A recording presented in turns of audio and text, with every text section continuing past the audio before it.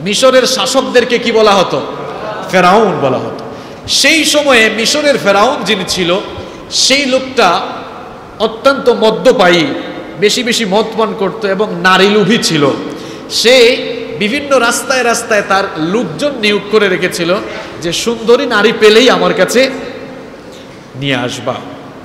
সাইদিনা ইব্রাহিম আলী ইসলাম তার স্ত্রী সারাকে নিয়ে যখন মিশরে যাচ্ছিলেন, তখন ওই মিশরের ফেরাউনের লোকজন এবার তাদেরকে পেয়ে গেল। ইব্রাহিম আলী ইসলামের বিবি সারা, তিনি অত্যন্ত সুন্দরী ছিলেন। তারা এবার সারাকে দেখেই ইব্রাহিম আলহি ইসলামের কাছে এসে জিজ্ঞেস করল, তোমার সাথে যে মহিলা আছে, এই মহিলা কে? ইব্রাহিম আলহি ইসলাম আগে থেকেই একটি বিষয় জেনে গিয়েছিলেন যে এখানে কোনো নারীর সাথে যদি কোনো পুরুষকে আটক করা হয়, নারীকে অপহরণ করে নিয়ে যাওয়া হয়, আর এই দেশের নিয়ম হচ্ছে নারীর সাথে থাকা পুরুষ সাথী বা পুরুষ সঙ্গী যদি পিতা বা ভাই হয়, তাহলে তাকে ছেড়ে দেওয়া হয়।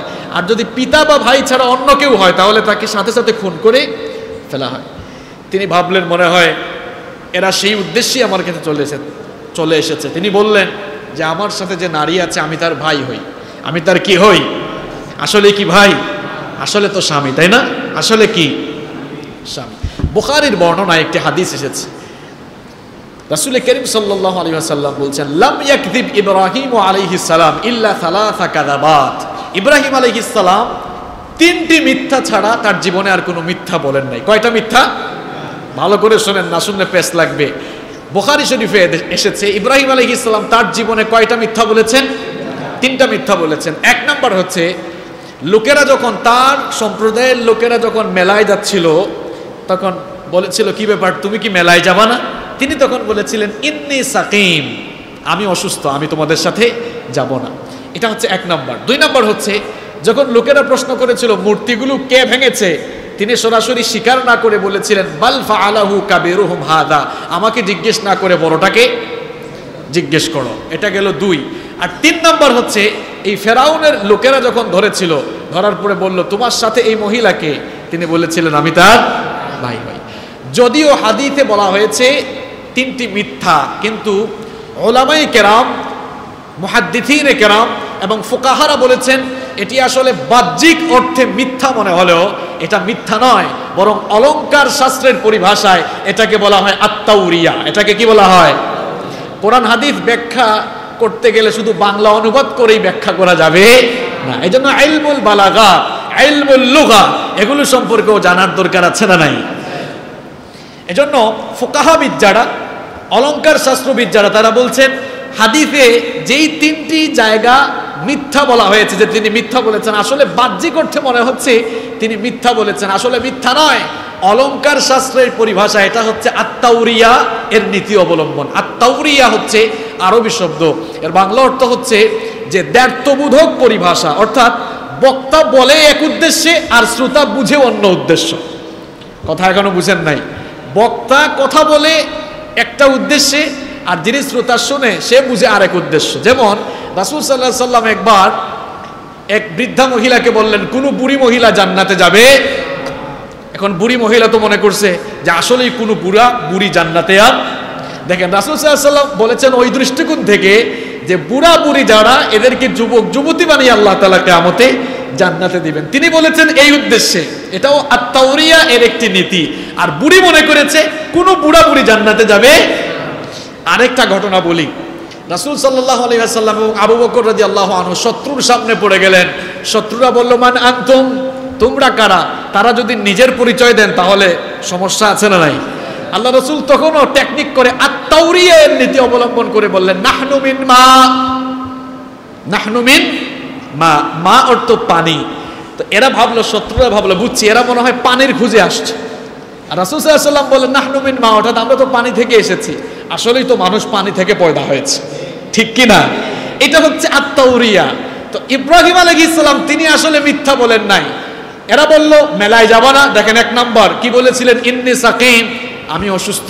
অসুস্থতা শুধু শারীরিক অসুস্থতা বুঝায় না, মানসিক অসুস্থতাও বুঝায়। মহাদ্দিনে কেরাম এটি ব্যাখ্যা করেছেন এভাবে, অর্থাৎ তিনি অসুস্থ, এর মানে হচ্ছে সাকিম মিন আমালিহিম। তিনি অসুস্থ ছিলেন তাদের আমলের কারণে, কারণ এরা যেভাবে সমাজে শির্ক আর বেদাত শুরু করেছিল, এগুলো দেখতে দেখতে তিনি মানসিকভাবে কিছুটা অসুস্থ বা মানসিকভাবে কিছুটা বিচলিত হয়ে গিয়েছিলেন। এই জন্যই তিনি বলেছিলেন, ইন্নি সাকিম তাহলে বাহ্যিক অর্থে এটা মিথ্যা মনে হলো আসলে কি এটা মিথ্যা? আর দুই নাম্বার কি ছিল? এরা বলেছিল, এই কাজ কে করেছে? তিনি বলেছিলেন বালফা আলাহু কাবির উহুম হাদা। বড়টাকে জিজ্ঞেস করো। এই জন্যই, কারণ তিনি প্রমাণ করতে চেয়েছিলেন যে আসলেই তোমাদের এই মূর্তিগুলো ভুয়া। এই মূর্তিগুলো কি? এই জন্য বললেন, আমাকে জিজ্ঞেস না করো, ওইটাকে জিজ্ঞেস করো। আর তিন নম্বর যেটা, ওই যে ফেরাউনের লোকেরা বলল, তোমার সাথে থাকা মহিলাকে তিনি স্বামী পরিচয় দিলেন না ভাই পরিচয় দিলেন? এখন আপনারা বলবেন, হুজুর, এই জায়গায় এসে আপনার যুক্তি কি? এটা তো মিথ্যা হয়ে গেল। প্রিয় ভাইয়েরা, বাপ, ছেলে, সম্পর্কের কারণে, রক্তের কারণে বাপ, ছেলে, কিন্তু আবার ইসলামী সম্পর্কে আমরা বাপ বেটাও দুইজন কি হয়ে যায়? কারণ ইন্নামাল মুমিনুনা ইখওয়া, তাহলে স্বামী, স্ত্রী, দুজন স্বামী, স্ত্রী হলো দিনী সম্পর্কে তারা আবার কি? ভাই বোন বুঝতে পেরেছেন কথা? আবার কোন কোন বর্ণনায় পাওয়া যায়, ইব্রাহিম আলহ ইসলাম তার চাচাতো বোন সারাকে বিয়ে করেছিলেন। সারা ছিলেন তার চাচাতো বোন। তাহলে তো বোন বলা ওই দিক থেকেও ঠিক? ঠিক আছে না নাই? ঠিক আছে। যখন তিনি বললেন, সে আমার বোন হয়। তিনি তো নিশ্চিত এরা অপহরণ করে নিয়ে যাবে। এবার তিনি তার স্ত্রী সারার কাছে এসে বললেন, সারা, এরা তো আমাকে জিজ্ঞেস করেছে, তুমি আমার কি হও? আমি তো বলেছি যে, তুমি আমার বোন হও। এখন তুমি আবার আসল কথাটা এদেরকে বলে দিও না। আসলেই তো আমরা দিনই সম্পর্কের কারণে ভাই বোন কারণ পৃথিবীতে তুমি, আমি আর আমার ভাতিজা ছাড়া এখন আর কেউ মুমেন নাই। সেই দিক থেকে দিনই সম্পর্কে আমরা ভাই বোন সুতরাং তুমি তাদের কাছে সব কিছু বলে দিও না। এবার ফেরাউনের লোকেরা সারাকে অপহরণ করে ফেরাউনের কাছে নিয়ে গেল। ফেরাউন তো খুব নারীলোভী ছিল। সারাকে দেখেই সে তার হাত বাড়ালো। যখন সে হাত বাড়ালো, তার হাত পা অবশ হয়ে গেল। আল্লাহ আকবার। অন্যদিকে আল্লাহর বান্দি সারা, তিনিও দোয়া করেছেন, আল্লাহ তোমার উপরে, তোমার রাসুলের উপরে ইমান এনেছি। আমি আমার সতীত্ব কেবলমাত্র আমার স্বামীর জন্য উৎসর্গ করে দিয়েছি। আমাকে এই জালেম থেকে তুমি বাঁচাও। আল্লাহ তালা ও দোয়া কবুল করেছেন। যখনই হাত বাড়ায়, হাত পাগুলো অবশ করে দেন কে? এটা কোনো কিস্সা কাহিনী না, বোখারি শরীফে এসেছে। এরপরে যখন তার হাত পা অবশ হয়ে গেল, বলল, তুমি কি এমন করলা? আমার হাত পা অবশ হয়ে গেল। তোমার আল্লাহর কাছে একটু দোয়া করো, আমাকে যেন ভালো করে দেন। যদি ভালো করে দেন, আমি দ্বিতীয়বার আর তোমার দিকে হাত বাড়াবো। যখন তিনি দোয়া করলেন, এইদিকে ফেরাউন ভালো হয়ে গেল। ভালো হওয়ার পর আবারও তার লুভি দৃষ্টি আছে না নাই? আবারও সে হাত বাড়ালো, আবারও অবশ্য হয়ে গেল। এভাবে দুইবার, তিনবার অবশ্য হয়ে যাওয়ার পর বলল, তুমি একটু দোয়া করো, আর তোমার দিকে হাত বাড়াবো? তিনি দোয়া করলেন, সে আবার ঠিক হয়ে গেল। তখন তার লোকজনকে বলল কাকে নিয়ে আসছো? এটা তো কোনো মানুষ না। আমার আমার কাছে তো মনে হচ্ছে এটা একটা শয়তান। কাকে নিয়ে আসছো? এক্ষুনি তাকে আমার সামনে থেকে সরাও। তাকে কষ্ট দিয়েছে, এক কাজ করো। তাকে আমার রাজদরবার থেকে একটা বাদী, একটা দাসী উপহার দাও। দেওয়া হলো হাজেরাকে দাসী হিসাবে উপহার। হাজেরা ছিলেন ইব্রাহিম আলহ ইসলামের স্ত্রী, পরে বিয়ে হয়েছে। কিন্তু দেখেন থেকে হাজেরা আসলো? ফেরাউন কি করল? হাজেরাকে গিফট দিল, হাদিয়া দিল, যে এইটা সারাকে কি করে দাও? গিফট করে দাও। সারা তখন ইব্রাহিম আলহি সালামের কাছে গেলেন, ঘটনা শুনালেন। ইব্রাহিম আলহি সালাম তখন বললেন, প্রশংসা সেই আল্লাহ যিনি তার খালিল ইব্রাহিমকে অগ্নিকুণ্ড থেকে যেভাবে বাঁচিয়েছেন, সেভাবে ইব্রাহিমের স্ত্রী সারাকেও ফেরাউনের চক্রান্ত থেকে হেফাজত করেছেন। সুবাহ আল্লাহ এবার তিনি তার স্ত্রী, স্ত্রীকে নিয়ে পুনরায় মিশর থেকে আবার কেনানে চলে গেলেন। সাইদিনা ইব্রাহিম আলাইহিস সালামের কোনো সন্তান ছিল না। সৈয়দিনা ইব্রাহিম সালামের গোটা জীবনটাই পরীক্ষার ছিল। একের পর এক বিভিন্ন বিষয়ে আল্লাহ পাক তাকে পরীক্ষা করেছিলেন। সন্তান দেওয়ার আগেও বিভিন্নভাবে আল্লাহ তাকে পরীক্ষা করেছিলেন। নমরুদের অগ্নিকুণ্ডে তাকে নিক্ষিপ্ত হতে হয়েছিল। নমরু আবার নমরুদের অগ্নিকুণ্ড থেকে তাকে হেফাজত করেছিলেন কে? এভাবেই আল্লাহ পাক সাইয়েদনা ইব্রাহিম আলাইহিস সালামকে বিভিন্নভাবে পরীক্ষা করেছিলেন। আর আল্লাহ পাক যতগুলো ব্যাপারে তাকে পরীক্ষা করেছিলেন, সবগুলো পরীক্ষায় তিনি কৃতিত্বের সাথে উত্তীর্ণ হয়েছেন। কোরআনে কারীমের দুই নাম্বার সুরা সূরা সূরাতুল বাকারা এর 124 নাম্বার আয়াতে আল্লাহ পাক এই জন্য সুন্দর করে বললেন ওয়া ইদিবতালা ইব্রাহিম রাব্ব ربه بكلمات فأتمهن قال إني جاعلك للناس إماما قال ومن ذريتي قال لا ينال عهد الظالمين আল্লাহ পাক বলেন স্মরণ করুন, যখন যখন ইব্রাহিমকে তার রব কয়েকটি ব্যাপারে পরীক্ষা করেছিলেন, আর ইব্রাহিমকে তার রব যতগুলো ব্যাপারে পরীক্ষা করেছিলেন, সবগুলো পরীক্ষায় তিনি কৃতিত্বের সাথে উত্তীর্ণ হয়েছিলেন। আর সবগুলো পরীক্ষায় কৃতিত্বের সাথে উত্তীর্ণ হওয়ার কারণে আল্লাহ পাক তাকে মানব জাতির নেতা বানিয়ে দিলেন। জাইলুকা লিন-নাসি ইমামা। আল্লাহ তালা বললেন, আমি তোমাকে মানব জাতির নেতা বানাবো। আল্লাহু আকবার। ইব্রাহিম সালামের কোনো সন্তান ছিল না। তার স্ত্রী সারা বন্ধা ছিলেন। তার স্ত্রী সারা তিনি বন্ধা ছিলেন। ইব্রাহিম সালাম ছিয়াশি বছর পর্যন্ত তার কোনো সন্তান ছিল না। অপরদিকে তার স্ত্রী সারা তিনিও বন্ধা ছিলেন। এই জন্য তিনি মিশরের ফেরাউনের কাছ থেকে পাওয়া গিফট, হাদিয়া। হাজেরাকে এবার তিনি তার স্বামীর জন্য উৎসর্গ করে দিলেন। সাইদিন ইব্রাহিম আলাইহিস সালাম হাজেরাকে তার দ্বিতীয় স্ত্রী হিসাবে গ্রহণ করলেন। সাইদিনা ইব্রাহিম আলাইহিস সালাম যখন হাজেরাকে দ্বিতীয় স্ত্রী হিসাবে গ্রহণ করলেন, আল্লাহ রাব্বুল আলামিন তখন হাজেরার গর্ভে ইসমাঈল আলাইহিস সালামের জন্মের সুসংবাদ দিলেন। তিনি আল্লাহর কাছে দোয়া করেছিলেন, রব্বি হাবলি মিনাস সালিহিন। ওগো আল্লাহ, আমাকে একটি নেককার সন্তান দাও। ইব্রাহিম সালামের সন্তান ছিল না। তিনি সন্তান চেয়েছেন কার কাছে? তিনি যখন আল্লাহর কাছে সন্তান চাইলেন, আল্লাহ পাক তার ফরিয়াদ কবুল করে তাকে জানিয়ে দিলেন, ফাবাশশারনাহু বিগুলামিন হালিম। আমি আমার খালিল ইব্রাহিমের দোয়াকে কবুল করে নিলাম, আর তাকে এক ধৈর্য সহিষ্ণু নেককার সন্তানের সুসংবাদ দান করে দিলাম। ইব্রাহিম আলাইহিস সালামের পরীক্ষা শেষ হয় না। সন্তান ছিল না না দিয়ে এতদিন পরীক্ষা করা হয়েছে। এখন আবার সন্তান দেওয়ার পরেও তাকে পরীক্ষায় ফেলেছেন কে? সন্তান যখন হয়ে গেল, সন্তান যখন হয়ে গেল, এবার ইব্রাহিম সালামের প্রথম স্ত্রী ছাড়া তিনি একটু ঈর্ষান্বিত বোধ করলেন। আমি ইব্রাহিমের সাথে এতদিন ধরে সংসার করি, আমার কোনো সন্তান হলো না। কিন্তু হাজারাকে বিয়ে করার পরেই সন্তান হয়ে গেল। ঈর্ষান্বিত মনোভাব পোষণ করলেন। আর তার এই ঈর্ষামূলক মনোভাব সাইয়েদনা ইব্রাহিম সালামের সামনেও প্রকাশ পেয়ে গেল। এবার আল্লাহ পাক সাইয়েদনা ইব্রাহিম সালামকে অর্ডার করলেন, তোমার দ্বিতীয় স্ত্রী হাজেরা। আর নবজাতক শিশু ইসমাইলকে নিয়ে চলে যাও মক্কা নগরীতে, সেখানে তাদেরকে নির্বাসনে রেখে আসো। সাইদিনা ইব্রাহিম আলাইহিস সালাম আল্লাহর অর্ডার মোতাবেক তিনি তার দ্বিতীয় স্ত্রী হাজরা এবং তার নবজাতক শিশু ইসমাইলকে নিয়ে চলে গেলেন মক্কা নগরীতে। মক্কা এখন যেমন ঝাঁকজমকপূর্ণ আর সুন্দর শহর, তখন সেরকম ঝাঁকজমকপূর্ণ আর সুন্দর নগরী ছিল না। মক্কা তখন ছিল জনমানবহীন, ধুধু মরুভূমি এক প্রান্তর। তিনি সেখানে তার দ্বিতীয় স্ত্রী হাজেরা এবং তার নবজাতক শিশু ইসমাইলকে নিয়ে চলে গেলেন। তার স্ত্রী হাজেরা এবং তার নবজাতক শিশু ইসমাইলকে সামান্য কিছু খাবার আর পানি দিয়ে তিনি যখন চলে আসতেছিলেন, বুখারের বর্ণনা এসেছে।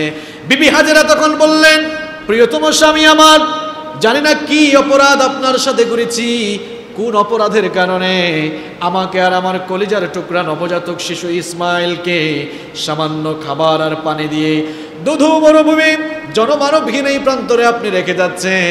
কি অপরাধ করলাম? সাইদিন ইব্রাহিম আলাইহিস সালামের মনের মধ্যে বেদনা আর কষ্টের পাহাড় জমে আছে। তার বিবি, তার স্ত্রী হাজেরার প্রশ্ন শুনে তিনি যে জবাব দিবেন বাক শক্তি হারিয়ে ফেলেছিলেন। কারণ ছিয়াশি বছর বয়সে আল্লাহ তাআলা তাকে একটি সন্তান দিয়েছেন। যেই সন্তানকে ঘরের ভেতরে রেখে কুলে পিঠে করে মানুষ করার কথা ছিল, আদর স্নেহ, মমতা দিয়ে ভালোবাসা। আর আদর, স্নেহ, মমতা, ভালোবাসা দিয়ে প্রতিপালন করার কথা ছিল। তার বিপরীতে নির্বাসনের কথা আল্লাহ পাক বললেন, এই জন্য তার মনে বেদনা আর কষ্টে মুখ একেবারে তালা লেগে গিয়েছিল, এমন অবস্থা হয়ে গিয়েছিল। বিবি হাজারা দুইবার, তিনবার তাকে প্রশ্ন করার পর কথা না বলে তিনি আকাশের দিকে আঙুল উঁচু করলেন। বিবি হাজারা বুঝতে পারলেন। বুঝতে পেরে তিনি বললেন, প্রিয়তম স্বামী আমার, যদি ওই আল্লাহর হুকুম মতো আমাকে আর আমার নবজাতক শিশু ইসমাইলকে জনমানবহীন দুদু এই মরুভূমির প্রান্তরেও তুমি রেখে যাও। ওই আল্লাহর উপরে আমি এতটা ভরসা করি, ওই আল্লাহ পাক আমাকে আর আমার নবজাতক শিশু ইসমাইলকে পানি আর খাবারের অভাবে মারবেন না। ইব্রাহিম আলাইহিস সালাম তাদেরকে রেখে চলে যাচ্ছেন। যেতে যেতে একটি গিরিপথে, একটি গিরিপথ পর্যন্ত চলে আসলেন, পেছন ফিরে দেখলেন তাদেরকে আর দেখা যায় না। বাচ্চা আর স্ত্রীর জন্য দিলের মধ্যে টান আছে না নাই? এবার তিনি আল্লাহর কাছে দোয়া করলেন। তার দোয়া আল্লাহর কাছে এত ভালো লাগল। কোরআনে কারীমের 14 নম্বর সূরা সূরা ইব্রাহিমের 37 নম্বর আয়াতে ইব্রাহিম আলাইহিস সালামের দোয়া আল্লাহ উঠিয়ে দিলেন তিনি দোয়া করেছিলেন রব্বানা ইন্নী আসকানতু মিন ذريتي بواد غير ذي زرع عند بيتك المحرم ربنا ليقيموا الصلاة فاجعل أفئدة من الناس تهوي إليهم وارزقهم من الثمرات لعلهم يشكرون তিনি দোয়া করেছিলেন হ্যাঁ আমার রব আমি আমার বংশধরদেরকে ফল ফসলহীন এক উপত্যকায় তোমার ঘরের কাছে রেখে গেলাম তোমার ঘরের কাছে রেখে গেলাম যেন তারা সলাৎ কায়েম করতে পারে কিছু মানুষের অন্তর তুমি তাদের দিকে ঝুঁকিয়ে দাও। আর ফল ফসলহীন উপত্যকায় যেহেতু তাদেরকে রেখে যাচ্ছি, তোমার পক্ষ থেকে উত্তম ফল ফলাদি আর রিজিকের ব্যবস্থা করে দাও, যেন তারা তোমার কৃতজ্ঞতা আদায় করতে পারে। ইব্রাহিম আলহ ইসলাম এই দোয়া করলেন। এই দোয়াটাও কবুল করেছেন কে? দেখেন দোয়াটা কেমনে কবুল হয়েছে। তিনি তো রেখে চলে গেলেন। সামান্য কিছু খাবার আর পানীয় ছিল। কয়েকদিনের মধ্যেই সেই খাবারও ফুরিয়ে গেল, পানীয় ফুরিয়ে গেল। এবার বিবি হাজারা পিপাসার যন্ত্রণায় নিজে ছটফট করে নবজাতক শিশু ইসমাইল সালাম, তিনিও পানি পিপাসার যন্ত্রণায় তিনিও ছটফট করছেন। রঈসুল মুফাসসিরিন আব্দুল্লাহ ইবনে আব্বাস রাদিয়াল্লাহু আনহু বলছেন যে পিপাসার যন্ত্রণায় ইসমাইল আলাইহিস সালাম মরুভূমির মধ্যে গড়াগড়ি শুরু করে দিলেন।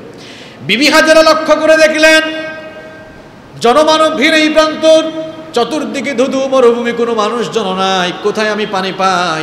এই জায়গাটা ভালো করে চিনি না।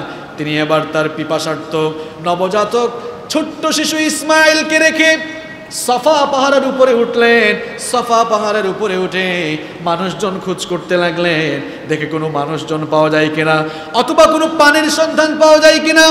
সফা পাহাড়ে উঠে তিনি কোনো পানিও পেলেন না, কোনো মানুষজনও পেলেন না। ক্লান্ত, শ্রান্ত হয়ে সাফা পাহাড় থেকে নেমে গেলেন। সাফা পাহাড় থেকে নেমে আবার তিনি মারোয়া পাহাড়ে উঠলেন। মারোয়া পাহাড়ে উঠে সেখানেও কোনো মানুষজন পেলেন না, কোনো পানীয়ের সন্ধান পেলেন না। এভাবে একবার সফা আর একবার মারোয়া একবার সাফা আর একবার মারুয়া। এভাবে তিনি সাফা আর মারুয়ার মধ্যে সাত চক্কর দিলেন, সাতবার দৌড়াদৌড়ি করলেন। আল্লাহ তালার কাছে হাজেরার এই সাত চক্কর, সাত দৌড়াদৌড়ি, সাতবার দৌড়াদৌড়ি এত ভালো লাগল। কামত পর্যন্ত যত হাজি সাহেবরা বাইতুল্লাহ গিয়ে হজার অমরা আদায় করবে, তারাও যেন হাজারার সেই স্মৃতিকে মনে করে, তারাও যেন সাফা আর মারোয়ার মধ্যে সাতবার দৌড়াদৌড়ি করে এই জন্য সাফা আর মারোয়ার মধ্যে সাই আল্লাহ ওয়াজিব করে দিলেন। কোরআনে কারিমে আল্লাহ বলছেন إن الصفا والمروة من شعائر الله فمن حج البيت أو اعتمر فلا جناح عليه أي أن يطوف بهما ومن تطوع خيرا فإن الله شاكر আলিম আল্লাহ তালা বলছেন সফা আর মারওয়া এগুলো হচ্ছে আল্লাহ তালার নিদর্শনের অন্তর্ভুক্ত যারা হজ করবে আমরা করবে সাতবার এই সফা মারোয়ায় সাত চক্কর দেওয়া সাই করা ওয়াজিব করে দিয়েছেন কে সাতবার দৌড়াদৌড়ি করার পর ক্লান্ত শ্রান্ত হয়ে গেলেন ক্লান্ত শ্রান্ত হয়ে তিনি তার নবজাতক শিশু ইসমাইল আলাইহিস সালামের কাছে আগমন করে দেখলেন। আল্লাহ তাআলার ফেরেশতা সাইয়েদনা জিব্রিল আমিন আগমন করলেন। সাইয়েদনা জিব্রিল আমিনের পা অথবা ডানার আঘাতে নবজাতক শিশু ইসমাইল আলাইহিস সালামের পায়ের কাছ থেকে মাটি ফেরে মাটির নিচ থেকে এবার পানি উদ্গত হওয়া শুরু করে দিল। তিনি এবার পানিকে দেখে বললেন, জম জম জম জম মানে হচ্ছে থামো। তিনি তখন চতুর্দিকে বাদ দিলেন। বেরিবাদ বুঝেন তো আপনারা। বাদ দিলেন। রাইসুল মুফাসসিরিন আব্দুল্লাহ ইবনে আব্বাস রাদিয়াল্লাহু আনহু বলছেন, রাসূল করিম সাল্লাল্লাহু আলাইহি ওয়াসাল্লাম বলেছেন, যদি বিবি হাজেরা চতুর্দিকে বাদ না দিতেন, তাহলে জমজমের সেই কুয়া আর কুয়া থাকতো না। সেটা একটা প্রসবন হয়ে যেত, ঝর্ণা ধারায় বহমান হয়ে যেত। এবার সেই পানি তিনি নিজে পান করলেন। ইসমাইল আলহিসাল্লামকেও সেই পানি পান করালেন কোনো মানুষজন নাই। এখন এই মক্কা মক্কা নগরীতে মানুষের আবাস শুরু হয়েছে কীভাবে দেখেন?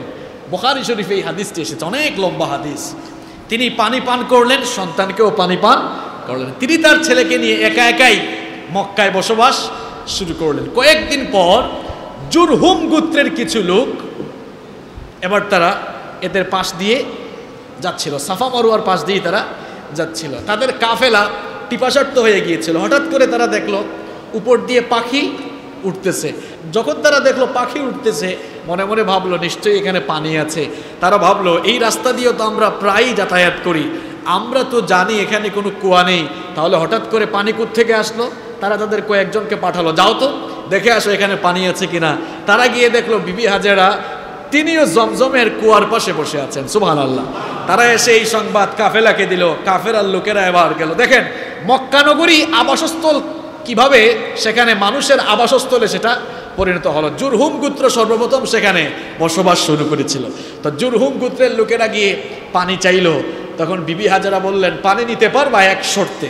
শর্ত হচ্ছে, এই পানির মালিকানা তোমরা কখনো দাবি করতে পারবা না এবং পানি গ্রহণ করলে তোমাদেরকে এখানে বসবাস করতে হবে। কারণ তিনি একা একা কিছুটা অসহায় ফিল করছিলেন। তিনিও চেয়েছিলেন কিছু মানুষ যেন এখানে বসবাস করে। তারাও শর্তে রাজি হয়ে গেল। তারা এবার তাদের ফ্যামিলি তাদের ফ্যামিলির অন্যান্য সদস্যদেরকেও নিয়ে আসলো। জুরহুম গুত্রের লোকেরা এবার মক্কায় বসবাস শুরু করল। এভাবেই জনমানবহীন মক্কা মানুষের আবাসস্থলে পরিণত হয়ে গেল। সুবান আল্লাহ পড়া আর এই জমজমের পানি, এটা কি দুনিয়ার পানির মতো সাধারণ কোনো পানি? বিশ্বনবী সাল্লাল্লাহু আলাইহি ওয়াসাল্লাম বলেছেন, খাইরু মাইন আলা ওয়াজহিল আরদি মা উজামজাম দুনিয়ার সবচাইতে শ্রেষ্ঠ পানি হচ্ছে জমজমের পানি। যারা সুবহানাল্লাহ পড়লেন না, বাসায় গিয়ে পড়িয়েন। জমজমের পানি, এটা এতই বরকত নয়। রাসূল করিম সাল্লাল্লাহু আলাইহি ওয়াসাল্লাম বলছেন, ফিহি তুআম আচ্ছা পানি পান করলে, বলেন তো আপনারা, পিপাসার যন্ত্রণা মিটে নাকি ক্ষুধার যন্ত্রণাও মিটে? কথা বুঝেন নাই? পানি পান করলে পিপাসার যন্ত্রণা মিটবে নাকি ক্ষুধার যন্ত্রণা মিটবে? পিপাসার যন্ত্রণা মিটবে, কিন্তু জমজমের পানির একটি স্পেশালিটি হচ্ছে, আল্লাহ রসুল বলছেন যে, ফিহি তোহামিনা তম এটি মানুষের পিপাসা যেমন নিবারণ করে, তেমনি মানুষের ক্ষুধাকেও নিবারণ করে দেয়। জমজমের পানির দুই নম্বর উপকারিতা হচ্ছে ওয়াশিফা উম্মেনা সোকম, এই পানির ভেতরে আল্লাহ তালা শিফা দিয়েছেন সোবান জমজমের পানি পান করলে ওই লোকটাকে শিফা দান করেন কে? সাইদিন ইব্রাহিম আলহিসাল্লাম তার বিবি হাজরা এবং তার নবজাতক শিশু ইসমাইল আলী ইসলামকে রেখে চলে গিয়েছে চলে যাচ্ছিলেন। চলে যাওয়ার সময় কোন দোয়া করেছিলেন মনে আছে? হ্যাঁ? বলেছিলেন, রব্বানা ইন্নি আসকান্তু মিন যুররিয়াতি বিওয়াদিন গাইরি দি জারইন ইনদা বাইতিকাল মুহাররম। ফল ফসলহীন একটি জায়গায় আমার বংশধরদেরকে তোমার ঘরের কাছে রেখে যাচ্ছি। অগো আল্লাহ, রব্বান আলী উকিমুসলা তারা যেন সলাদ কায়েম করে ফাজা আল ফাজাল আফইদাতাম না সিতা হবি ইলাইহিম। কিছু মানুষের অন্তর তাদের দিকে ঝুঁকিয়ে দেন বলেন তো, কিছু মানুষের অন্তর তাদের দিকে ঝুঁকানো মানে? জুরহুম গোত্রের লোকেরা সেখানে এসে কি শুরু করল? বসবাস শুরু করল। আর তিনি দোয়া করেছিলেন ওয়ার্জুক হোম মিনাস থামারা তাদেরকে তুমি রিজিক দান করো ফল ফলাদি থেকে। রিজিকের ব্যবস্থাও করেছিলেন কে? তার দোয়াটা কবুল হয়েছে নাকি হয় নাই? তিনি চলে যা তিনি চলে গেলেন। চলে যাওয়ার পর বুখারির বর্ণনায় হাদিস এসেছে। তার বয়স যখন আশি বছর হয়ে গেল, আশি বছর বয়সে আল্লাহ তালা ইব্রাহিম আলহি ইসলামকে অর্ডার করলেন খতনা করার জন্য। এই যে খতনা করান না আপনারা? হ্যাঁ? এই যে খতনা শুরু হলো কীভাবে দেখেন? আল্লাহ তালা বললেন, ইব্রাহিম, নিজের খতনা নিজেই করো। ইব্রাহিম আলী ইসালাম খতনার মতো একটি কষ্টসাধ্য কাজ এখন তো ডাক্তার আছে। এখন ডাক্তার আছে না? এখন খতনাটা অনেক সহজ হয়ে গিয়েছে। কিন্তু সেই সময় তো কোনো ডাক্তারও ছিল না। ইব্রাহিম আলহি ইসালাম এই ধরনের কষ্টসাধ্য একটি কাজ আল্লাহর অর্ডার পাওয়া মাত্রই নিজের খতনা তিনি নিজেই সম্পন্ন করলেন। সোবান আল্লাহ এরপর থেকে খতনা শুরু হলো। আমরা যারা ইব্রাহিম আলহি ইসলামের সন্তান, ইব্রাহিমের ধর্মের অনুসারী, আমরাও তো এখনও খতনা করে থাকি। চিকিৎসা বিজ্ঞান, বর্তমান চিকিৎসা বিজ্ঞান খতনার মধ্যে যে অফুরন্ত উপকার রয়েছে, এটা বর্তমান চিকিৎসা বিজ্ঞানও মাথা নত করে মেনে নিয়েছে। যারা খতনা করে না, এদের কিন্তু জানা অজানা বহু রোগ এদেরকে আক্রমণ করে। আর যারা খতনা করায়, যারা খতনা করায়, এরা জানা অজানা বহু রূপ থেকে বেঁচে থাকতে পারে। এজন্য এখন দেখবেন আপনারা বহু অমুসলিমরাও এরা সোয়াবের জন্য করে না, সুন্নত হিসাবে করে না। তারা রূপ থেকে বাঁচার জন্য কি করে? খতনা সবাই করে না, কেউ কেউ এরকম করে থাকে। ইব্রাহিম আলাইহিসালাম তার সন্তানকে তো রেখে চলে গিয়েছিলেন। ইব্রাহিম আলাইহিসালামের ছেলে ইসমাইল আলাইহিসালাম ওইদিকে বড় হয়ে গেলেন। বড় হয়ে যাওয়ার পর আবারও পরীক্ষা। দেখেন, ইব্রাহিম আলাইহিসালাম পরীক্ষার পরে তার ছেলে ইসমাইল আলাইহিসালাম যখন বড় হয়ে গেলেন আবার পরীক্ষা শুরু হয়ে গেল। আল্লাহ পাক ইব্রাহিম আলাইহিসালামকে স্বপ্নে দেখালেন। তিনি তার ছেলেকে যেন জবাই করছেন। আমাদের স্বপ্ন আর নবীদের স্বপ্ন কি এক নাকি? আমাদের স্বপ্ন তো কত রকম স্বপ্ন, ভালো স্বপ্ন, খারাপ স্বপ্ন আছে না নাই? নবীদের স্বপ্ন কি আমাদের স্বপ্নের মতো ফালতু স্বপ্ন? না, নবীদের স্বপ্ন শুধু স্বপ্ন নয়, নবীদের স্বপ্ন হচ্ছে ওয়াহি সুবাহ আল্লাহ আল্লাহর খালিল সাইদিন ইব্রাহিম আলাইহিস সালাম স্বপ্নে দেখলেন তিনি যেন তার ছেলেকে জবাই করছেন কুরবানি করছেন কোরআনে কারীমের 37 নম্বর সূরা সূরাতুস সাফফাতের একশত দুই নম্বর আয়াত থেকে আল্লাহ পাক সেই ঘটনা বর্ণনা করছেন فلما بلغ معه السعي قال يا بني إني أرى في المنام أني أذبحك ফানজুর মাদা তারা ইব্রাহিম আলাইহিস সালামের ছেলে সাইয়েদনা ইসমাইল আলাইহিস সালাম যখন দৌড়ঝাঁপ বয়স অর্থাৎ দৌড়ঝাঁপ শুরু করার বয়স অর্থাৎ যৌবনে উপনীত হয়ে গেলেন ইব্রাহিম সালাম। একদিন স্বপ্নে দেখলেন তিনি যেন তার ছেলেকে জবাই করছেন, কুরবানি করছেন।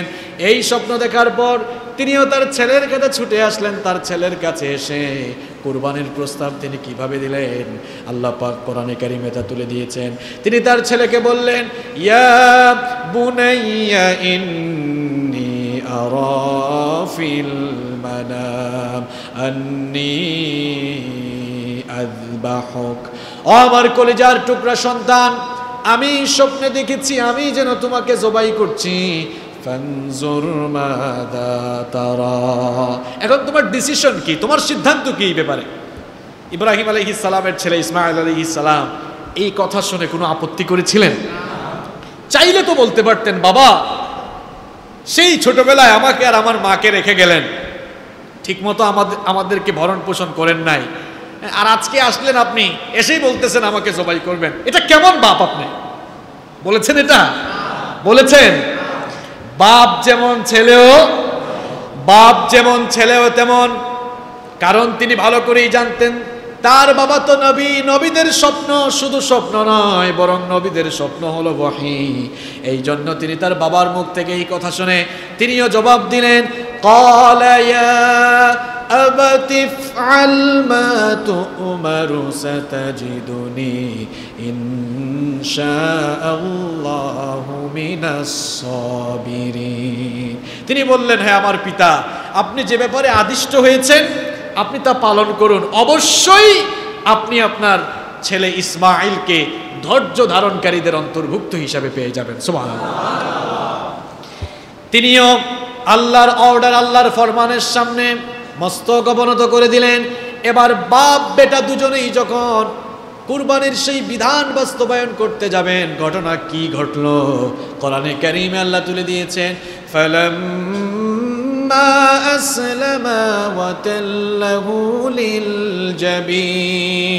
আল্লাহ পাক বলেন, যখন তারা দুজনেই আনুগত্যের মস্তক অবনত করল। আর ইব্রাহিম যখন তার ছেলে ইসমাইলকে উপুর করে শুইয়ে দিল, আমি দেখলাম আমার ইব্রাহিম তার স্বপ্নকে সত্যি সত্যি বাস্তবে রূপ দিয়ে দিবে। এই অবস্থা যখন আমি দেখলাম, আমি তখন বললাম ইব্রাহিম قد صدقت الرؤيا إنا كذلك نجزي المحسنين আল্লাহ পাক বলেন আমি তখন ইব্রাহিমকে বললাম অগো আমার খালিল ইব্রাহিম স্বপ্নে তুমি যা দেখেছো সত্যি সত্যি তো তা বাস্তবে রূপ দিতে যাচ্ছ সুতরাং বাস্তবে আর রূপ দেওয়া লাগবে না মোহসেনিন বান্দা যারা তাদেরকে আমি প্রতিদান দিয়ে থাকি ইন إن هذا لهو البلاء المبين ওগো আমার কালে ইব্রাহিম এটা তোমার জন্য একটা বড় পরীক্ষা ছিল আর এই পরীক্ষায় তুমি পাশ করে ফেলেছো উত্তীর্ণ হয়ে গিয়েছো এই জন্য ছেলেকে আর জবাই করার দরকার নাই ওয়াফাদাইনাহু বিযিবহিন আযীম তোমার ছেলের পরিবর্তে আমি জান্নাত থেকে একটি দুম্বা পাঠালাম সুবহানাল্লাহ পরীক্ষায় পাশ করে ফেলেছো আমি দেখতে চেয়েছিলাম যে আমার জন্য তুমি তোমার ছেলেকে উৎসর্গ করতে পারো কিনা? আমি দেখেছি যে তুমি আমার জন্য তোমার ছেলেকে পর্যন্ত উৎসর্গ করে দিতে রাজি আছো। এটা তোমার জন্য পরীক্ষা ছিল। পরীক্ষায় তুমি উত্তীর্ণ হয়ে গিয়েছো। তোমার ছেলেকে আর জবাই করা লাগবে না। আল্লাহ তাআলা তার ছেলের পরিবর্তে আরেকটি জবাই পাঠালেন। ওই জবাইয়ের পরিবর্তে আল্লাহ তালা তার ছেলেকে মুক্ত করে দিলেন। আর আল্লাহ তালা বললেন, তোমার এই পরীক্ষা আমার কাছে এত ভালো লাগল। কামত পর্যন্ত তোমার বংশধরেরা তোমার এই পদ্ধতিকে যেন মনে রাখে, অনুসরণ করে। সেই জন্য আমি আল্লাহ কি করলাম, শোনো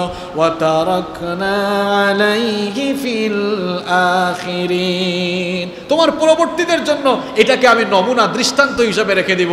আজও ইব্রাহিমের সন্তানরা, ইব্রাহিমের সেই নমুনার অনুসরণ করে ইব্রাহিমের সন্তানরা এখনও জিলহজ মাসের দশ, এগারো আর বারো তারিখ কুরবানি করে থাকে, ঠিক কিনা? তো ইব্রাহিম আলাইহিস সালাম ইব্রাহিম আলাই ইসলামে এই পরীক্ষায় তিনি, এই পরীক্ষায় তিনি উত্তীর্ণ হয়ে গেলেন। ইব্রাহিম আলাই ইসলাম এই পরীক্ষায় ফার্স্ট হয়ে গেলেন। এরপরে আল্লাহ তারা সাইদিনা ইব্রাহিম আলাই ইসলামকে অর্ডার করলেন, আমি তোমাকে দিয়ে আরেকটি বিরাট খেদমত করাবো, বিরাট একটি কাজ করাবো। ইব্রাহিম আলাইহি ইসলাম বললেন, কি কাজ করাবেন? আল্লাহ তালা বললেন, আমি এবার তোমাকে দিয়ে আমার ঘর নির্মাণের কাজ করাবো। কোরআন করিমের বাইশ নম্বর সোরা, সুরাতুল হাজের ছাব্বিশ নম্বর আয়াতে আল্লাহ পাক সুন্দর করে বলছেন ওয়াইদ বাওয়ানা লিইব্রাহিম মাকানাল বাইতি আল্লা তুশরিক বি শাইআ, ওয়া তাহহির বাইতিয়া লিত الطائفين والقائمين والركع السجود আল্লাহ তাআলা বলছেন স্মরণ করো যখন ইব্রাহিমকে আমি কাবা ঘর নির্মাণের স্থানটি চিহ্নিত করে দিয়েছিলাম নির্ণয় করে দিয়েছিলাম আর বলেছিলাম আমার সাথে কাউকে শরিক করা যাবে না আল্লাহ তাআলা ইব্রাহিম আলাইহিস সালামকে কাবা ঘর নির্মাণের স্থান দেখিয়ে দিয়েছিলেন সম্মানিত ভাইয়েরা কাবা ঘর সর্বপ্রথম আল্লাহ তাআলা নিজে ফেরেস্তাদেরকে দিয়ে নির্মাণ করেছিলেন। সুমান আল্লাহ পড়েন। এরপরে সাইদিনা আদম সালাম যখন দুনিয়াতে আসলেন সাইদিনা আদম সালাম, জিব্রাইল সালামের ইঙ্গিতে তিনিও কাবা ঘরের পুনর্নির্মাণ করলেন। এরপরে সাইদিনা নূহ সালামের প্লাবনের সময়, তুফানের সময়, সেই গজবের সময় কাবা ঘরের কিছু অংশ নিশ্চিন্ন হয়ে গিয়েছিল, ভিত্তিটা ঠিক ছিল। শুধু বেসমেন্ট যেটা, ভিত্তিটা ঠিক ছিল। এরপরে ইব্রাহিম আলহ ইসলামকে আল্লাহ তালা অর্ডার করলেন। জায়গাটা চিনিয়ে দিলেন যে এই জায়গায় আমার ঘরটাকে তুমি আবার নির্মাণ করো। সুবাহ আল্লাহ আল্লাহ তালা ইব্রাহিম আলহ ইসলামকে অর্ডার করলেন। আমার ঘর তুমি এই জায়গায় নির্মাণ করো। ইব্রাহিম আলাইহিসালাম এবার তার ছেলে ইসমাইল আলাইহিসালামের কাছে গিয়ে বললেন অগো আমার কলিজার টুকরা ছেলে, আল্লাহ পাক আমাকে একটি মহান কাজের ব্যাপারে আদেশ করেছেন। তুমি কি সেই কাজে আমাকে সহযোগিতা করবে নাকি? বাপ যেমন ছেলেও তেমন। ইসমাইল আলাইহিসালাম বললেন কি এমন কাজের ব্যাপারে আল্লাহ আদেশ করেছেন? ইব্রাহিম আলাইহিসালাম তখন বললেন, আল্লাহ পাক আমাকে তার ঘর নির্মাণের আদেশ দিয়েছেন। ইসমাইল আলাইহিসালাম তখন বললেন, এমন মহান কাজে আমি আপনার সাথে সঙ্গী হব। বাপ, বেটা দুজনে মিলে এবার কাবা ঘরের নির্মাণ কাজ শুরু করলেন। আল্লাহ তাআলা সাইয়েদনা ইব্রাহিম আলাইহিস সালামকে কাবা ঘর কীভাবে নির্মাণ হবে এর একটা নমুনা বলে দিলেন। কাবা ঘর কতটুকু লম্বা হবে, কতটুকু উঁচু হবে, কতটুকু চওড়া হবে, কতটুকু প্রশস্ত হবে, আয়তন কতটুকু হবে স্ট্রাকচারটা কেমন হবে সব কিছু আল্লাহ পাক ইব্রাহিম আলাইহিস সালামকে বলে দিলেন। বাপ, ছেলে দুজনে এবার রাজমিস্ত্রি হয়ে কাজ করা শুরু করে দিলেন। বাপ, বেটা দুজনে মিলে যখন কাবা ঘরের নির্মাণ কাজ শেষ করলেন, আল্লাহ পাক এবার তাদেরকে আদেশ দিলেন ওয়াতাহির বাইতিয়া কাইমিনা ওয়ার রুক্কাইস সুজুদ যখন তারা কাবা ঘর নির্মাণ করে ফেললেন, আল্লাহ তাআলা আদেশ দিলেন, এবার আমার এই ঘরকে তাওয়াফকারীদের জন্য, রুকু আর সাজদাকারীদের জন্য তোমরা পরিষ্কার করো। অর্থাৎ আমার এই ঘরটাকে ময়লা আবর্জনা মুক্ত করো, ঝাড়ু দাও, পরিষ্কার করো। সুবহানাল্লাহ। পরিষ্কার করার দুটি অর্থ তাফসিরের মধ্যে এসেছে। একটি হচ্ছে শির্ক, কুফর থেকে এটাকে পরিচ্ছন্ন রাখো, মুক্ত রাখো। আরেকটি অর্থ হচ্ছে যে আমার এই ঘরটাকে এবার তোমরা দুজনে মিলে কি করো? ঝাড়ু দাও, পরিষ্কার দাও, এটাকে পরিচ্ছন্ন রাখো সুমান আল্লাহ পড়ে। এই অর্ডার আসার পরে আল্লাহ ইব্রাহিম আলাইহিসাল্লাম কি বলেছিলেন? যে আল্লাহ, আমি তো কাবাগরের মুতল্লি। কাবাগরের মুতওয়াল্লি এই ঘরটা আমি নির্মাণ করলাম, আমাকে দিয়া তুমি বানালা। এখন এই ঘর আমি নিজেই বানালাম। আমি এই ঘরের মোতোয়াল্লি মানুষ। আমি কেমনে ঝাড়ু দেই? একটু আরেকজন কি দিয়ে ঝাড়ু দেওয়াই? এই কথা বলেছেন? এই কথা বলেছেন? আমাদের মুতওয়াল্লি, আমাদের দেশের সভাপতি, আমাদের দেশের মসজিদ কমিটির সভাপতি, মসজিদ কমিটির সেক্রেটারি আর মসজিদ কমিটির মুতওয়াল্লি, আর মুসল্লিদের অবস্থা কেমন? মসজিদে এসে ময়লা পেলে। কি ইমাম সাহেব? মুয়াজ্জিন সাহেব? খাদেম সাহেব? কোনো কাম নাই? দেখেন না এগুলো? তো মসজিদ পরিষ্কার রাখা, এটা কি শুধু ইমাম সাহেব, মুয়াজ্জিন আর খাদেমের দায়িত্ব? কথা কন না কেন? কথা বলেন। আপনি কোন লাটের ঘরের লাট হইলেন? আপনি করতে পারেন না কেন? যেখানেই অপরিচ্ছন্নতা দেখবেন, আপনার যদি মসজিদের প্রতি টান থাকে, ভালোবাসা থাকে, ইমাম সাহেবকে না বলে নিজেই ঝাড়ু দিয়া, নিজেই আপনি সওয়াব কামানোর ধান ধান্দায় থাকার কথা ছিল, ঠিক কি না? মাঝে মাঝে মসজিদ ঝাড়ু দিবেন তো? যারা বলে না, তাদের প্রেস্টিজে লাগতেছে, তাই না? মসজিদ ঝাড়ু দিবেন তো মাঝে মাঝে? আমার বাবা, আমি ছোটবেলায় দেখেছি, আমার বাবা তো দু হাজার বারো সালে মারা গিয়েছেন। আল্লাহ তালা তাকে মাফ করুন। আল্লাহ তালা তাকে জান্নাত নসিব করুন, সবাই বলে আমিন। আমি ছোটবেলায় দেখেছি, আমি পড়াশোনা করতাম, আমাদের মসজিদটা আমাদের বাড়ির পাশে। তা আমাদের মসজিদের জায়গাটাও আমাদের ফ্যামিলি থেকে দেওয়া হয়েছে। তা আমার বাবা মসজিদ কমিটির সভাপতি ছিলেন, নিজেদের জায়গায় মসজিদ হয়েছে। আমি আমার বাবাকে দেখি নাই এমন, কোনোদিনও তিনি ইমাম সাহেব বা মুয়াজ্জিন সাহেবকে বলেন নাই যে ইমাম সাহেব ঝাড়ু দেন। বরং মসজিদ কমিটির সভাপতি হয়ে আমি আমার বাবাকে দেখেছি, প্রত্যেক দিন তিনি মসজিদে গিয়ে মসজিদ ঝাড়ু দিয়েছেন। আমি নিজের চোখে দিই আমি এটা দেখেছি। এবং আমার আম্মা বলেছেন যে বাড়িতে আব্বা সব সময় আলাদা একটা ঝাড়ু বানাতেন। আর ওই ঝাড়ু নিয়ে ঘরের সবার সাথে মানে ঝগড়াঝাটি হইতো। এই ঝাড়ু কেউ ধরলেই অসুবিধা আছে। কারণ এই ঝাড়ুর প্রতিও বাবার একটা মহব্বত ছিল। অর্থাৎ এই ঝাড়ু দিয়ে যেহেতু শুধু মসজিদ ঝাড়ু দেওয়া হয়, এই ঝাড়ু যেন অন্য কাজে আর না লাগে। আমি নিজেও দেখেছি এই ঝাড়ু কেউ ধরলেই আব্বা রেগে যেতেন। তা আমি একদিন আব্বাকে বললাম যে, আব্বা, সব সময় আপনি ঝাড়ু দিচ্ছেন তো আপনার কাজ না, আমি তো ছোট, বুঝতাম না তখন। তিনি বললেন, বাবারে, কি এমন আমল করেছি সেটা তো জানি না। আল্লাহর ঘরটাকে ঝাড়ু দিয়ে দিয়ে যাচ্ছি। কামতের দিন যদি এই ঝাড়ু দেওয়ার কারণে আল্লাহ আমাকে মাফ করে দেন, তাহলে এটা আমার জন্য সবচেয়ে বড় পাওনা হবে। তো মসজিদ কমিটির সভাপতি হয়েছেন বলে আপনি ঝাড়ু দিবেন না, এটা কেমন কথা? আমি সেদিন আমার বাবার কাছ থেকে এটা শিখেছি। এরপরে আমিও আমাদের মসজিদে কয়েকদিন ঝাড়ু টাড়ু দিয়েছি। এখনও সময় সুযোগ পাইলে করি। সম্মানিত ভাইয়েরা এই জন্য সময় পাইলে, সুযোগ পাইলে মসজিদ পরিষ্কার করবেন তো? এটা নবীদের তরিকা। এটা কার তরিকা? ইব্রাহিম আলহ ইসলাম তার ছেলেকে নিয়ে ঝাড়ু দিলেন, পরিষ্কার করলেন। দুজনে যখন কাবা ঘর নির্মাণ শেষ করলেন, বাপ বেটা দুজনে মিলে এবার কিছু দোয়া করেছিলেন। তাদের সেই দোয়াগুলো আল্লাহ কোরআনে তুলে দিয়েছেন। কোরআনে করিমের দুই নম্বর সুরা সুরাতুল বাকরা এর একশত সাতাইশ নম্বর আয়াত থেকে আল্লাহ পাক বর্ণনা করছেন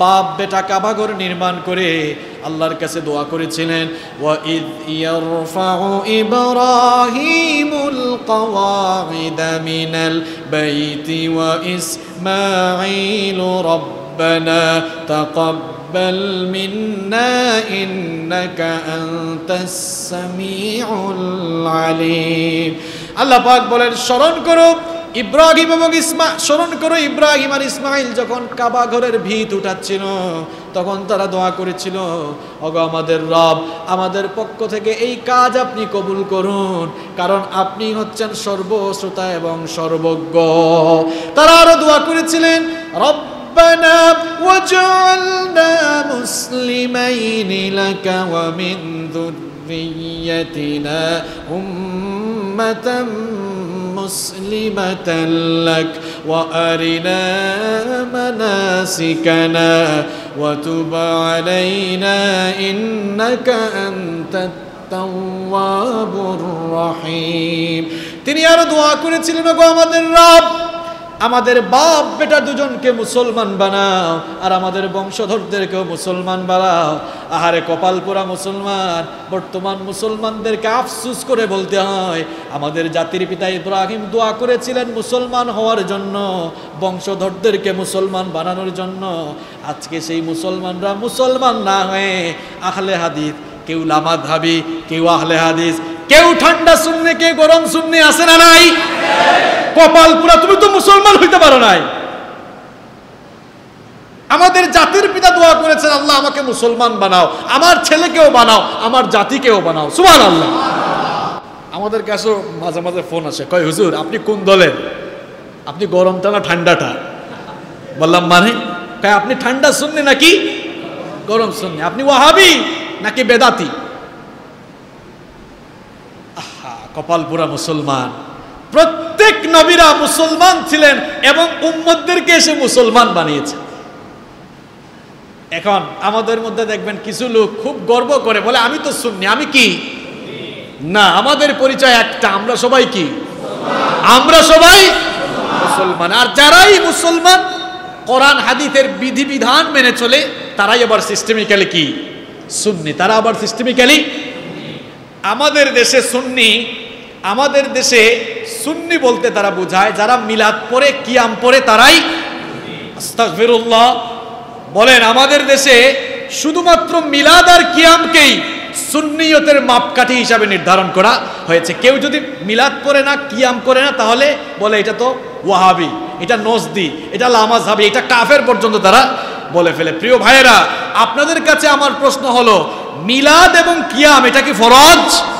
এটা কি ফরজ? সুন্নত, নফল, মুস্তাহাব। এখানে কেউ চুপ, মুস্তাহাব নাকি? মুস্তাহাব হবে কেমনে? এটা তো সুস্পষ্ট বিধাত।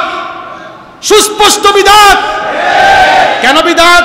এটা যদি এতই ফজিলতপূর্ণ হতো, তাহলে রাসূল সাল্লাল্লাহু আলাইহি ওয়াসাল্লাম কেন করলেন না? এটা যদি এতই ফজিলতপূর্ণ হতো, তাহলে যারা জান্নাতের সার্টিফিকেট পেয়ে দুনিয়া থেকে বিদায় হয়েছেন, তারা কেন একদিনও করলেন না? তুমি আবার কোন জাতের সুন্নি হইছো যে তাদের চেয়ে বেশি বুঝো? সুন্নির ঘরের সুন্নি, তুমি তো সুন্নি না। এটা হচ্ছে বাংলা ভাষায়, চুরের স্ত্রীলিঙ্গ কি? আমাদের সিলেটে বলে সুন্নি। তো এদেরকে আমি ওই সুন্নি বলব, কারণ তারা ইসলামের বিধিবিধানগুলোকে চুরি করে বিকৃত ইসলাম মানুষের সামনে পেশ করছে। আল্লাহর কসম, এটা রাসূলুল্লাহর ইসলাম নয়, এটা তোমাদের ভণ্ড বাবাদের ইসলাম। তোমাদের ভণ্ড বাবাদের ইসলাম এই জমিনে চলবে না। ভণ্ড বাবাদের ইসলাম এই জমিনে চলবে না। কিসের মিলাদ আর কিসের কিয়াম করো তুমি? আবু বকরের চেয়ে বড় আশেখ রসুল তুমি হতে পারবা? অমরের চেয়ে বড় আশেখ রসুল তুমি হতে পারবা? উসমান আলীর চেয়ে বড় সুন্নি তুমি হতে পারবা? সুন্নির ঘরের সুন্নি, কোথায় পেয়েছ তুমি এগুলা? তুমি দেখো, এরা একদিন ওইগুলো করেছেন। সব পকেট ভারী করার ডান্ডা তোমাদের এই ভণ্ডামি জাতির সামনে আমরা ফাঁস করে দিব। এখন আমাদের দেশে দেখবেন সুন্নিয়তের মানদণ্ড মাপকাঠি নির্ধারণ করা হয়েছে। কথাটা কি ভুল বললাম? যারা কিয়াম করে না, মিলাদ করে না বলে ওয়াহাবি। আশ্চর্য কথা। তুমি মিলাদ করো কিয়াম করো, নামাজ নাই, রোজা নাই, ওই লোকটা সুন্নি হতে পারবে?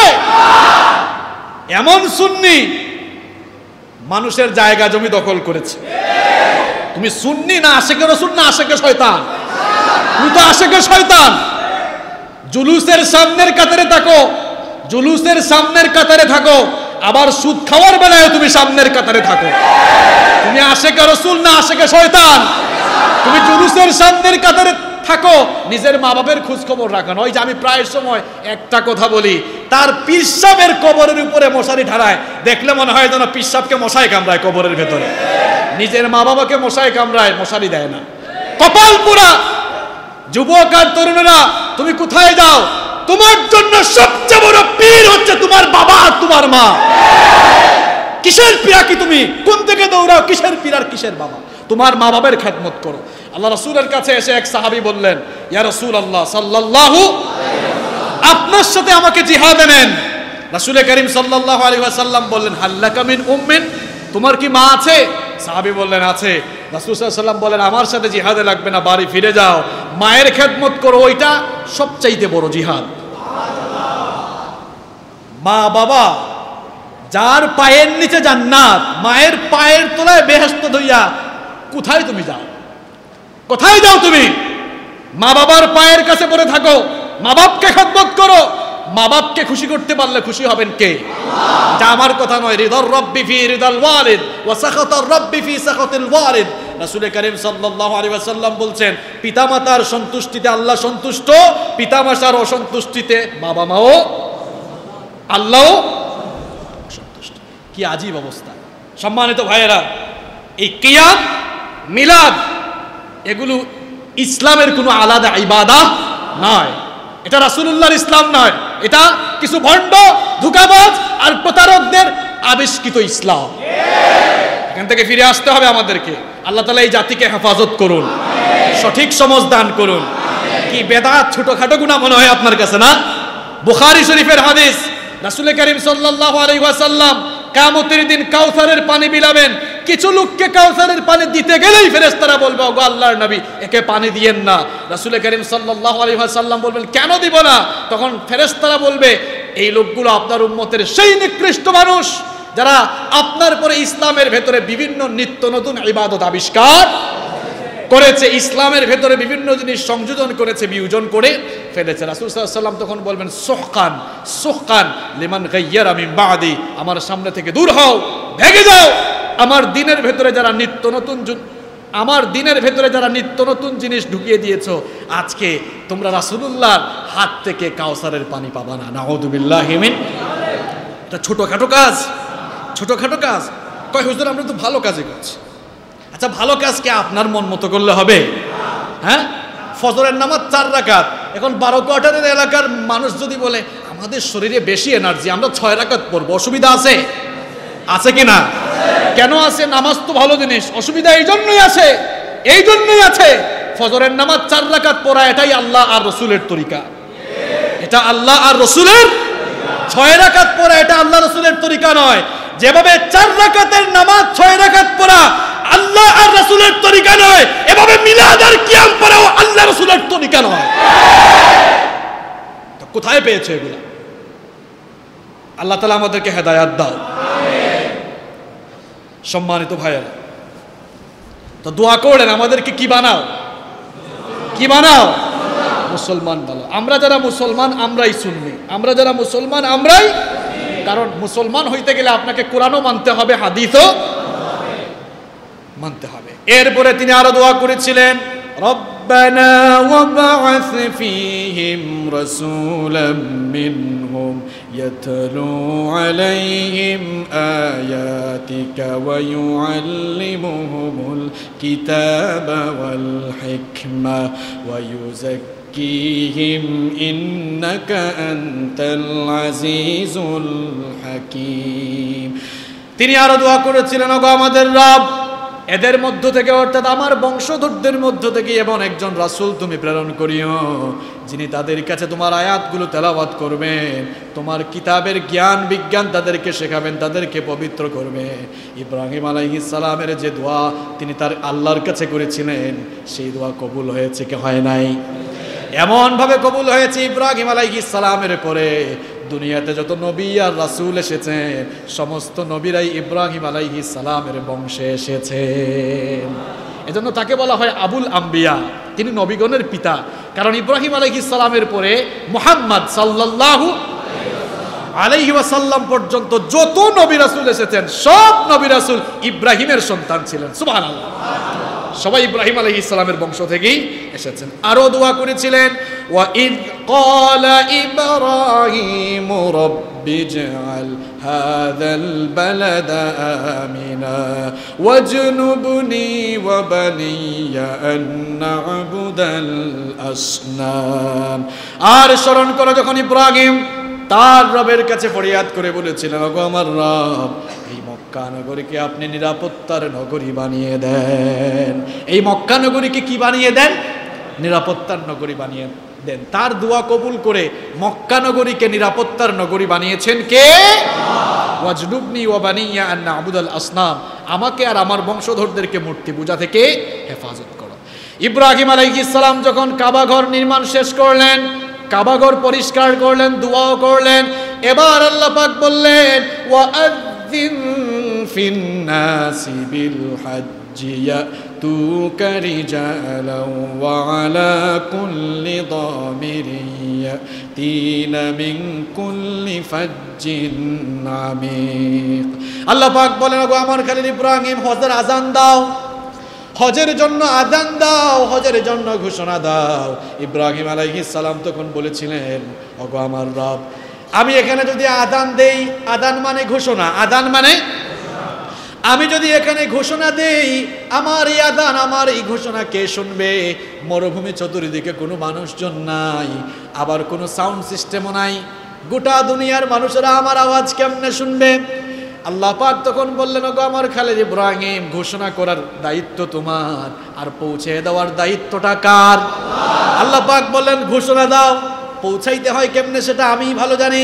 তখন ইব্রাহিম আলাইহিস সালাম কোনো কোনো বর্ণনা এসেছে, মাকামে ইব্রাহিমের, মাকামে ইব্রাহিম নামক পাথরের উপরে দাঁড়িয়ে।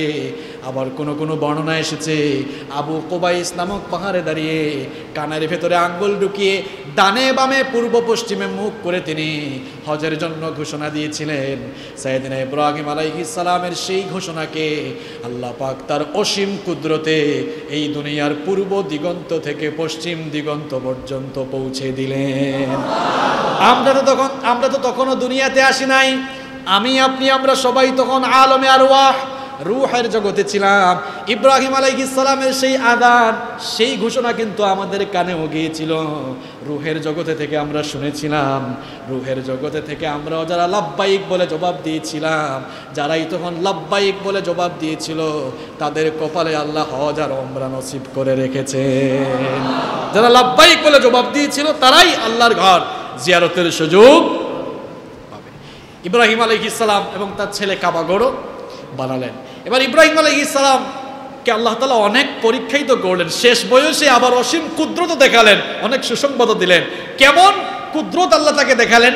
ইব্রাহিম আলী ইসলামের প্রথম স্ত্রী সারা বন্ধা ছিলেন, বন্ধা নারী। বন্ধা নারী তো আপনারা বুঝেন, তাই না? যার কোনো বাচ্চা এবার আল্লাহ তালা এমন কুদরত দেখালেন, আল্লাহ তালা ইব্রাহিম আলাই ইসলামের কাছে জিব্রিল পাঠিয়ে জানিয়ে দিলেন, তোমার এই বন্ধা স্ত্রীর ঘরেও এবার সন্তান আসবে। সব কিছুকে তিনি সম্ভব করেন। তিনি কে? কোরআনে কারিমে সেই ঘটনা আল্লাহ তুলে দিয়েছেন।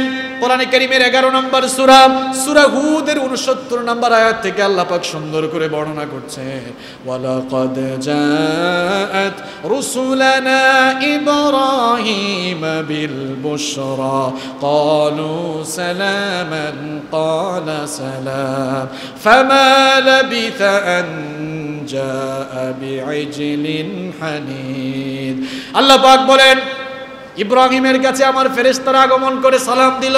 ইব্রাহিম সালামের জবাব দিলেন, ইব্রাহিম আলাইহিস সালামের কাছে ফেরেস্তা গিয়েছিল মানুষের আকৃতি ধারণ করে।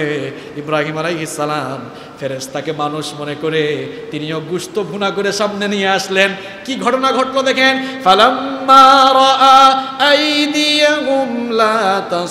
ইলা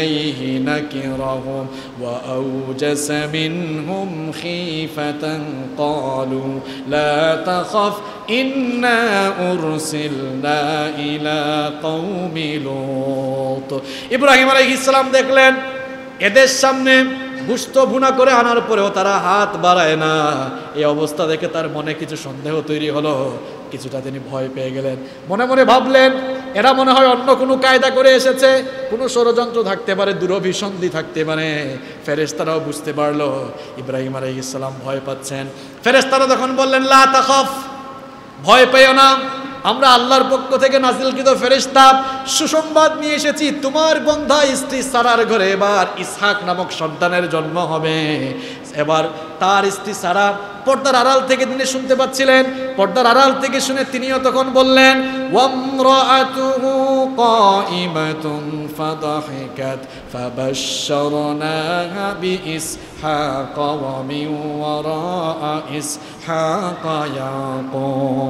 পর্দার আড়াল থেকে তিনি তিনি হাসতেছিলেন, এটা কীভাবে সম্ভব? আমি তো বন্ধা, আবার বয়স হয়ে গিয়েছে এখন।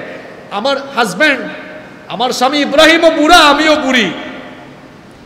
বুড়া বুড়ির ঘরে কি আর সন্তান আসতে পারে তিনি অবাক হয়ে গেলেন এবং হাসতেছেন তখন তিনি হা- মানে হেসে হেসে আরো বলেছিলেন قالت يا ويلتى أألد وأنا عجوز وهذا بالي شيخا إن هذا لشيء عجيب তিনি বললেন আশ্চর্য হাউ ইজ ইট পসিবল এটা কিভাবে সম্ভব আমি নিজে বুড়ি হয়ে গিয়েছি, আমার প্রিয়তম স্বামী ইব্রাহিম, তিনিও বৃদ্ধ হয়ে গিয়েছেন।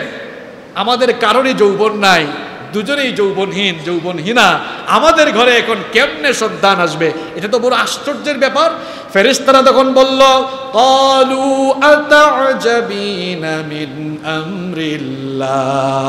আল্লাহর আদেশ কি তোমার কাছে আশ্চর্য মনে হচ্ছে? আল্লাহ চাইলে সবকিছু হয় কি হয় না? ফেরেশতারা বলল রহমাতুল্লাহি ওয়া বারাকাতুহু আলাইকুম আহলাল বাইত, ইন্নাহু হামিদুম মাজিদ। বললেন, নবী পরিবার, তোমাদের উপর আল্লাহর রহমত আর বরকত নাজিল হোক। আল্লাহ তাআলা সুসংবাদ দিয়েছেন, তোমাদের ঘরে এখন ইসহাকের জন্ম হবে। সুবহানাল্লাহ। ইব্রাহিম আলাইহিস সালাম আল্লাহর অসীম কুদরত দেখে আরও অবাক হয়ে গেলেন। বৃদ্ধ বয়সে আল্লাহ তাআলা আরেকটি সন্তান দিয়েছেন। আরেকটি সন্তান দিয়েছে। তখন তিনি দোয়াও করেছিলেন আল তখন তিনি প্রশংসা করে বলেছিলেন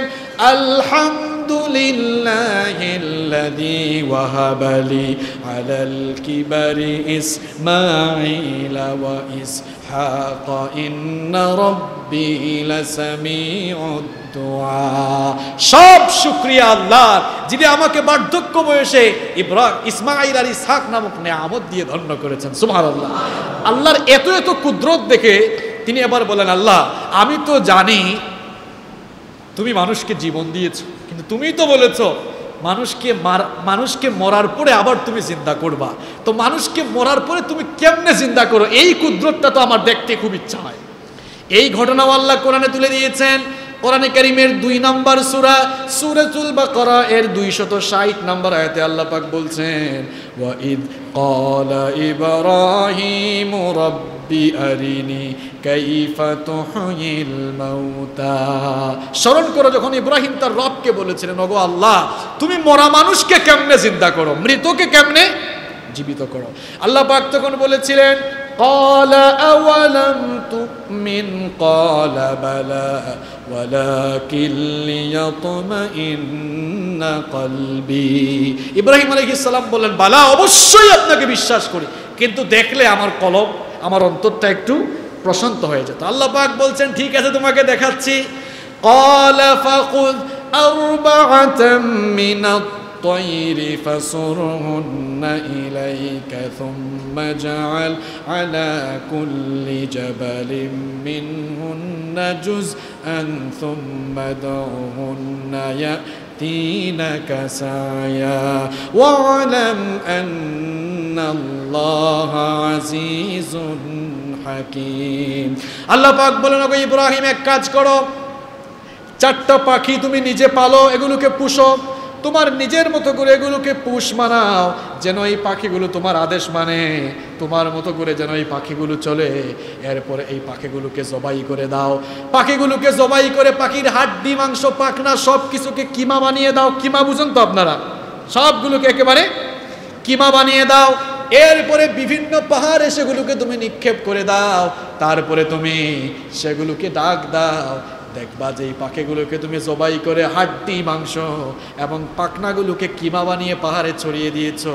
আল্লাহর হুকুমে, আল্লাহর কুদরতে পাখিগুলোর হাড্ডি, মাংস, পাখনা একত্রিত হয়ে জীবিত অবস্থায় তোমার কাছে সেগুলো চলে আসবে। তিনিও করলেন ঘটনা, তাই ঘটলো। তিনি তখন বুঝতে পারলেন যে সত্যি তো আল্লাহ তালা একেবারে বিচ্ছিন্ন সব কিছুকে আল্লাহ তালা একত্রিত করতে পারেন কিনা। কাফেরারাও বলতো আইদা কুন্না তোরাবান বা আইজামান আইন্না লামা বসুন আমরা মরে গেলে, মাটির সাথে মিশে গেলে, কে আমাদেরকে চিন্তা করবে? কে আমাদেরকে চিন্তা করবে? এরকম কিছু নাস্তিক কিন্তু এখনও দুনিয়ায় নাস্তিক। তুমি আসছো থেকে ওইটা দেখো। তুমি এক ফুটা নাপাক পানি থেকে এসেছ। এমন পানি বের হইলেই যেটা গোসল ফরজ হয়ে যায়। ওই পানি থেকে যে আল্লাহ পাক তোমাকে এত সুন্দর স্ট্রাকচার দিয়ে বানিয়েছেন, তোমার মতো নাস্তিক মরে গেলে ওই আল্লাহ পাক আবার জিন্দা করতে পারবেন না। পারবেন কি না? বিশ্বাস হয়? এভাবে আল্লাহ তালা ইব্রাহিম আলহ ইসলামের দীর্ঘ দাওয়াতি জীবনে তাকে বিভিন্নভাবে পরীক্ষা করেছেন এবং আল্লাহ তালা রসিম কুদরত তার সামনে প্রকাশ করে দিয়েছেন ইব্রাহিম আলহ ইসলামের ব্যাপারে কোরআনে যত ঘটনা এসছে, সব ঘটনা আমি আপনাদের সামনে তুলে ধরি